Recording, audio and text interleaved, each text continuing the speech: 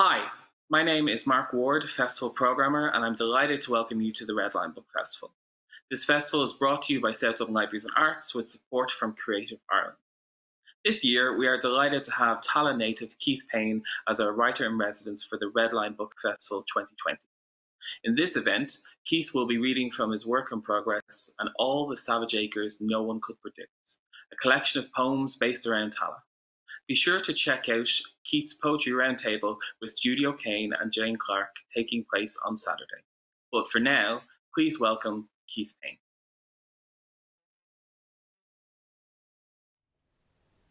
How you doing? Uh, my name is Keith Payne. I am the Redline Book Festival writer in residence for 2020. Um, and I want to thank, first of all, the Redline Book Festival organisers, all the staff at South Dublin County Council uh, Libraries, excuse me, and the programmer from the festival. Not only for the residency and my uh, chance to come back to Tallaght and work there, um, but also for this festival uh, in its ninth year now, um, and really showing uh, year on year uh, a great, inclusive, uh, and exciting program. Um, I'd also specifically like to mention my workshop uh, students. Uh, who have come week on week, and especially since the uh, new lockdown, uh, where we've taken everything online as this festival.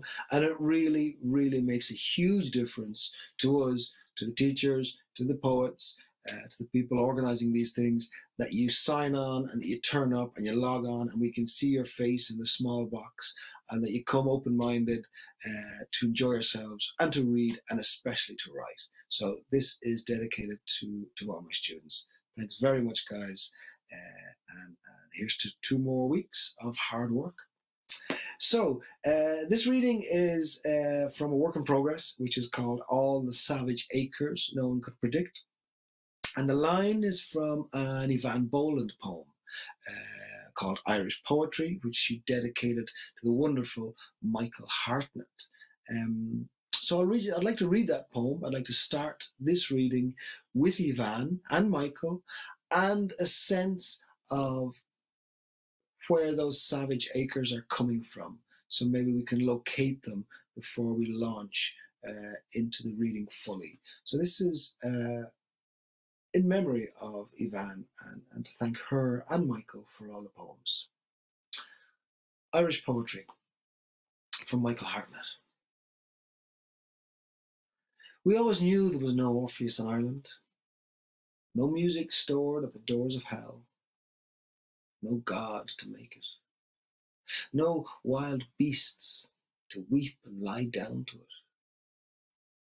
But I remember an evening when the sky was underworld dark at four, when ice had seized every part of the city and we sat talking, the air making a wreath for our cups of tea.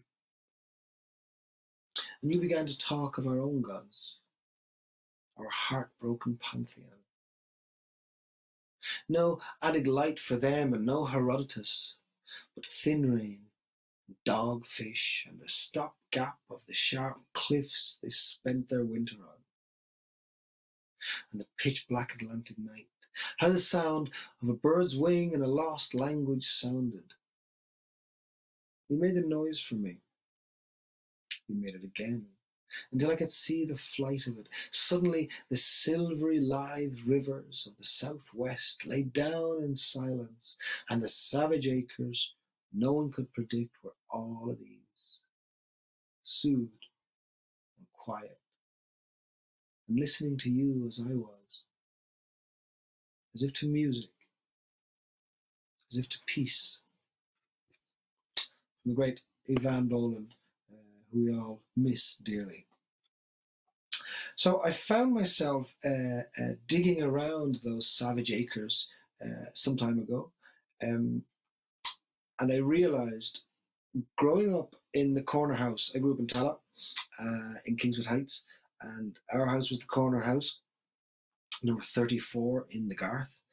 And when you go to dig in your garden, you realize the builders have dropped all the rubbish, the construction dross, the scree, the junk into your garden and they've covered it with a thin veneer of topsoil.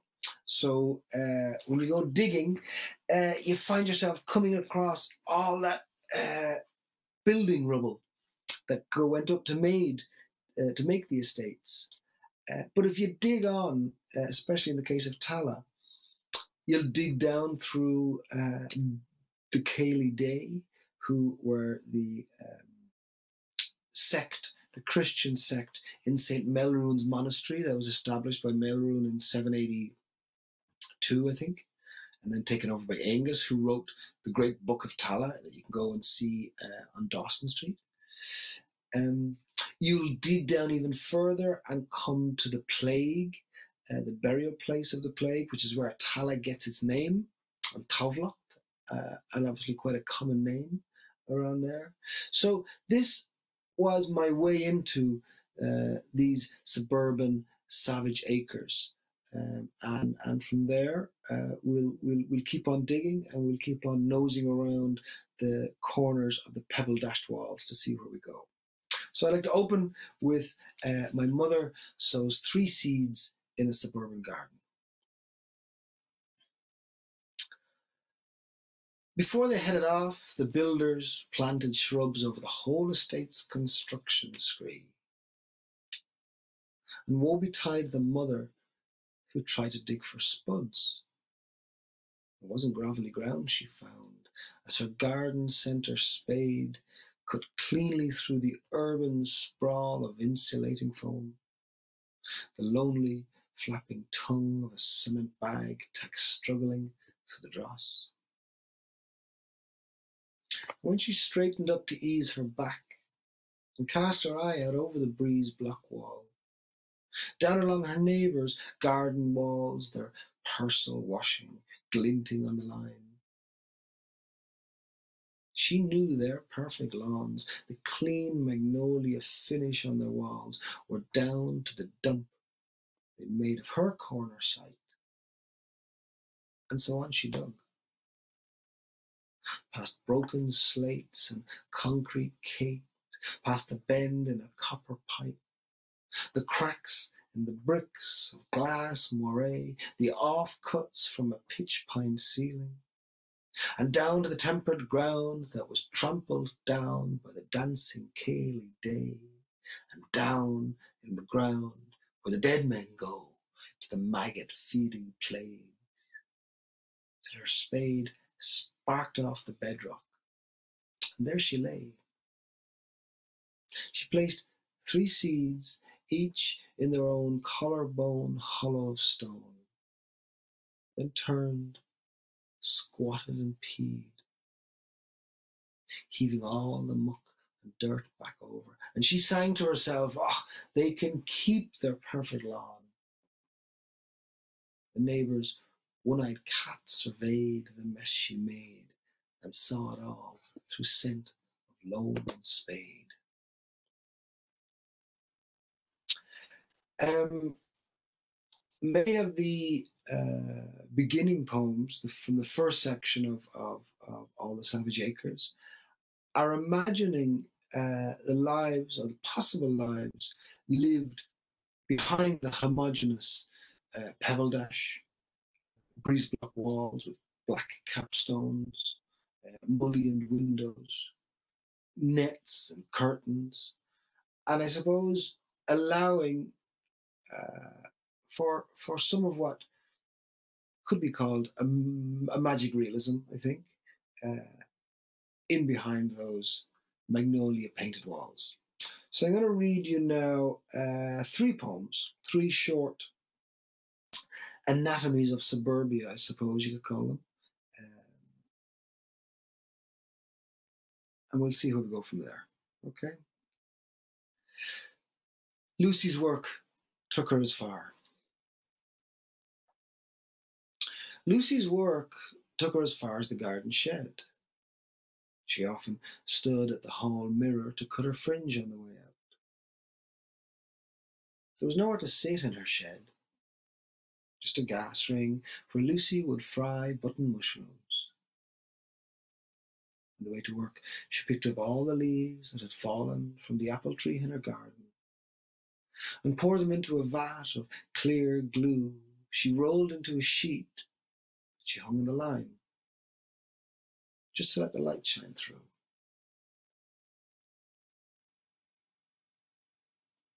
Thrust as he might his hands into his cardigan pockets. Thrust as he might his hands into his cardigan pockets. He simply cannot resist charge of children strafing the estate as he watches them from behind his mullioned windows on a street full of mullioned windows. Lifting the lid on the turntable, he slides the arm over the plate. The needle picks up every abandoned hair and dust mote, crackles and spits as the music lifts into the room, and he listens with sympathy to the tympanum in the orchestra. As the symphony swells, he slips out of his argyle socks, and the tongue and groove ceiling opens to receive him, and he is lifted into the mystic.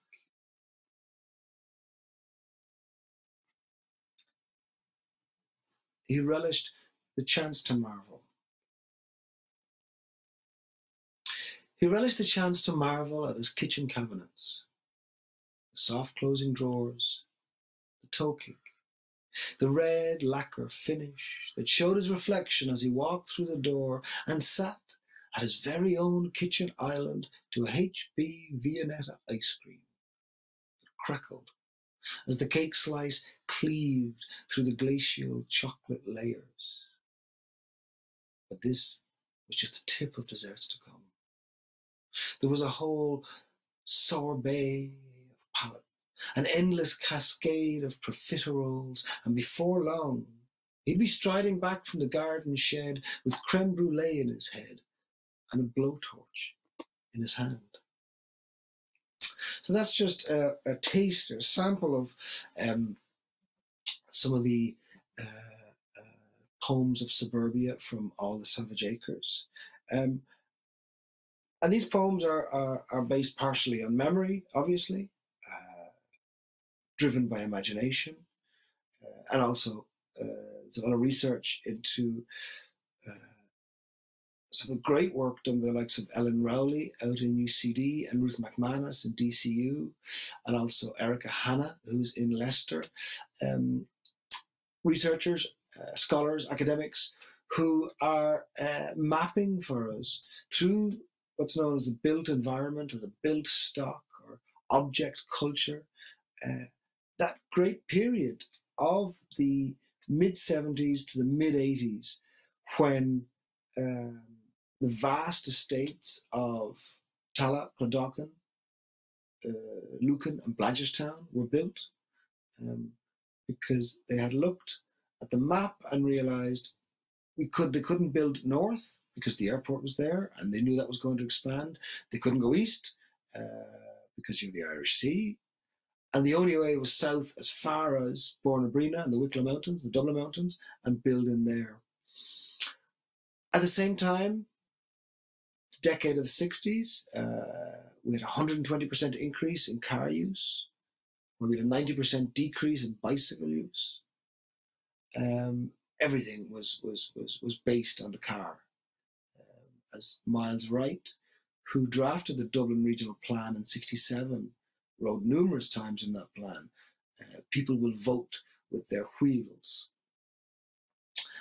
At the same time, we were also joining the European Union, who I think for obliged us in order to join to open our banking regulations to an international uh, market. At the time coming up to join the EU, Ireland had one of the greatest social housing schemes in Europe. And the period of the mid 70s to mid 80s was the very rapid dismantling of that, uh, literally brick by brick. Um, while at the same time opening up uh, lending to international markets, profiteering markets, essentially. And that radically changed how we live, how we thought about how we live. Um, and in fact, what was offered was was was the beginning of um, what we have now with with a housing market as opposed to home building. Um, so before I go to those particular poems, I'd like to read a few more from uh, the early stages of, of uh, All the Savage Acres. And this first one uh, really is inspired by my mother. Uh, she was one of those women who, when she came in the door from work in the evening, before she took off her coat or her her bag, she would be picking up bits of fluff or bits of dirt uh, along the carpet, would have gone in, cleaned out the grate and set the fire, probably washed a couple of cups on the sideboard, and then she'll she'll take her coat off and put the kettle on. So this is uh, dedicated to Kate Payne. Kate Payne, excuse me. Some nights she came home. Some nights she came home when the house was gone. So hanging, hanging her coat on a branch, she grabbed a trowel and set to laying blocks. Great course after course she laid, till she stepped into the hallway. She papered the plasterboard walls of the hall stairs and landing. The cornice was the tricky bit. Then switching on the kettle as her kids turned in their sleep, the stars wheeling in the sky above, she went to the garden that had grown itself together again and hung the washing on the line.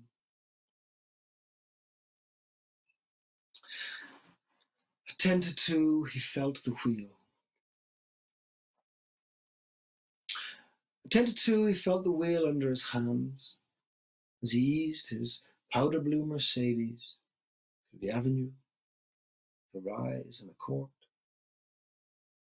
Tires turning past the new shops, the tiny toothed wheel of his Seiko wristwatch ticking back and forth and back and forth as he turns the wheel of the car. The sun and stars etched out of the watch's face reveal its inner workings. It got him where he was today.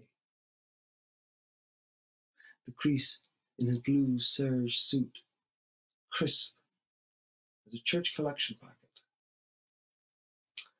Um, some of you may remember waking up one morning in the early 1980s and finding about a half inch of sand covering everything, covering all the cars in the driveways, all the driveways, the gardens, those black capstones.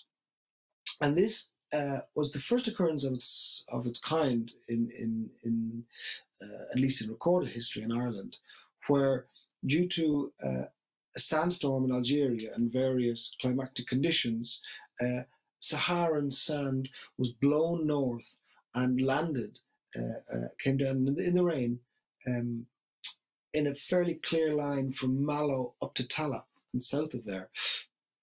It was in in uh, 1982, I think. So this uh, this poem, uh, I suppose, remembers that and considers the, the, the, the movement of that Saharan sand. He rooted the fly sheet out from the tent bag. He rooted the fly sheet out from the tent bag and stretched it between the decorative wishing well, the bolts in the wall, and the washing line. News had reached him of a sandstorm in Algeria high pressure over Spain and France, and a low front out over the Atlantic that together blew the Saharan sand north, where it fell as quartz held in great globules of rain that crashed the new hatchbacks parked in the estate. Timing it just right, he filtered the sand into a quality street tin Sand he worked well into his green terrarium, bedding his succulents in. Then rivered a layer of silver gravel over the surface as the fragile roots took hold in their new home.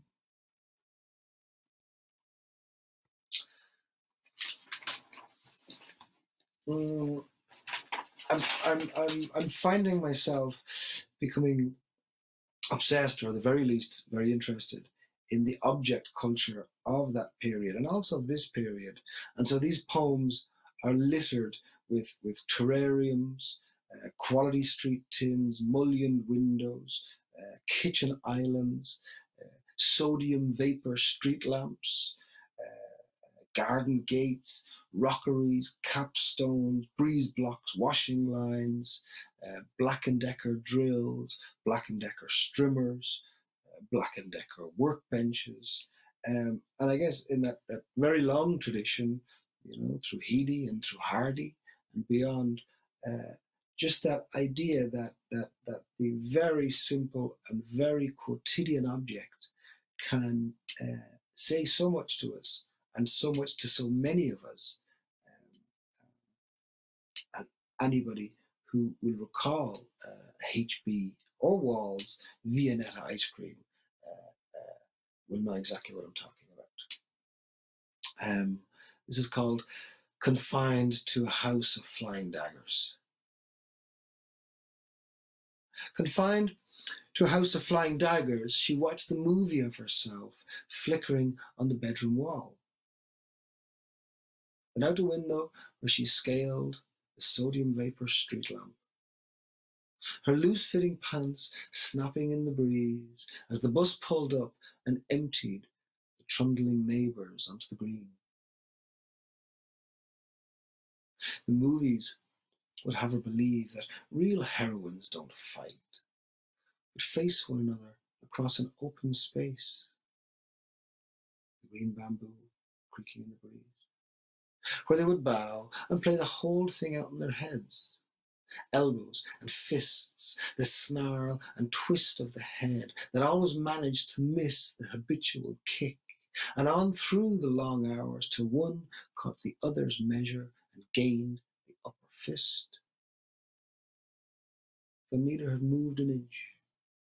Their eyes were closed throughout, not a flick of the wrist. So both had missed the flapping end of the reel, where she slips back through the bedroom window, nimble quiet, to lay on her eiderdown to sleep. She'd been reading all about the upper strata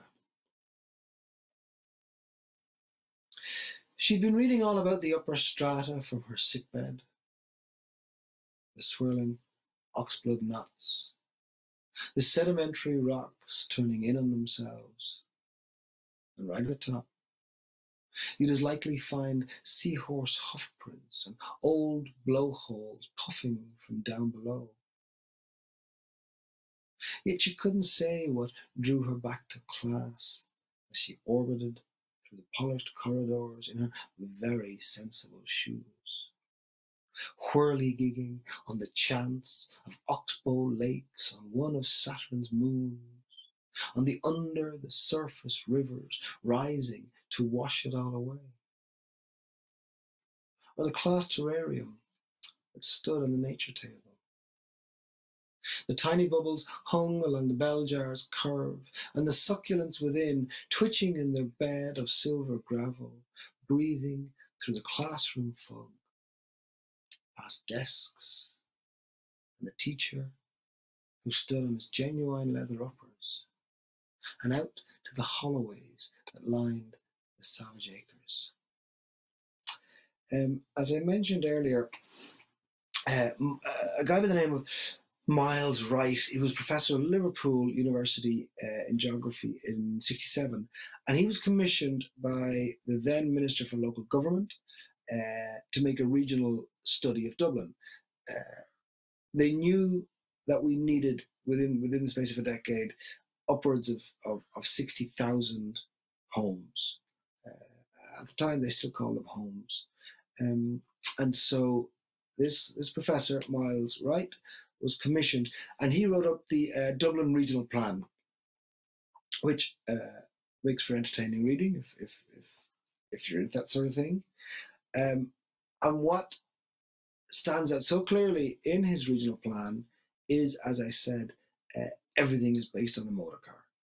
I mean, the models for these housing estates, these vast housing programs, are of course the model city, the model town, the UK idea. Uh, which in turn borrowed so much from Robert Moses uh, in New York, who just cleared whole vast communities in, in New York City and, and built those disastrous projects. Um, and it was also essentially based on the idea, the, the Victorian notion that if you build a good house and you give someone a good house, all social ills will be cured. Um, and there was no mention, and there is no mention in any uh, government or planning documents uh, to do with culture or entertainment or recreation. Although, although Miles does talk about recreation, but we talks about he talks about getting in a car and driving to the coast or driving to the mountains. But in the actual place where people were going to live, there was zero consideration of this, um, and a kind of uh, and a kind of very really really quick period. We went from um, pre-independence, where speculative builders and speculative uh, development were the order of the day, to that glorious period in the 1930s when the corporation were building projects like the Drumcondra scheme, Marino, uh, Cabra, Crumlin, uh, and rapidly to the 70s, where we, we, we handed back uh, our construction, our building of homes and communities back to speculators. Um, and the language you can see in these documents is, is, is so clear. Uh, and so rancid, really. Um, so the next two poems I'll read are uh, an attempt at the moment uh, to use that language directly from uh, planning legislation and from Miles Wright's uh, regional program. Okay, this first is called This Phrase is Intended to Express the Unity of the Area. The growth rates predicted in the second program have not been fulfilled, and this may call for some adjustment. We have not sought to make an adjustment ourselves because the program is metropolitan and most convenient. A novel way of guiding development naturally, in a most economical way positive guidance beyond dormitory estates toward the rapid use of motor cars in a few chosen places. Growth and change thereafter are certain once our great change is made. We must see our place in the scheme of things. We must see our place in the scheme of things because one of the certainties of planning is that prosperity, once achieved, will spread.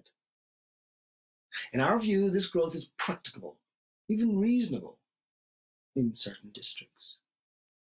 We have in mind small industries, modernization, new housing and schools in a favourable location at a lower cost.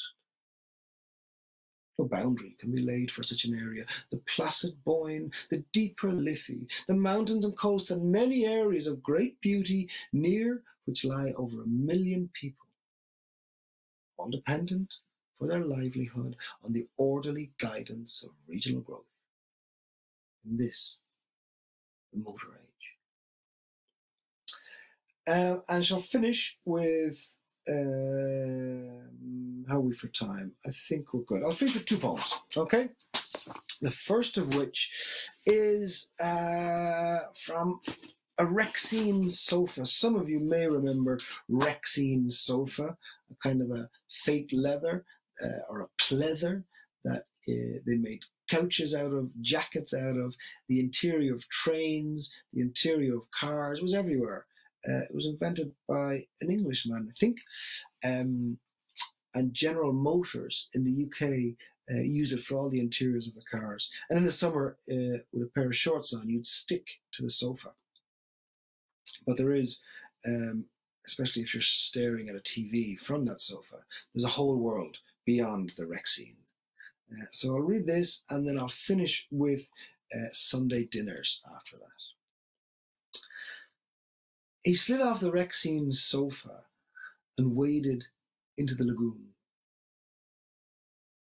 floating down through the particles to where the Roman heads, no Roman heads, no fluted columns, just shopping trolleys lay. He glides effortlessly over the smooth egg stones and all the buried black encased cables to an altarpiece in bas relief and Bini Salam stone looming up through the water, while above, in the distance, dissenters trundle past on the 1548 express. Soaked through, he finally reaches the far shore, where she is waiting in the sand. They sit together to watch the rare earth show that, without exception, begins every evening at seven.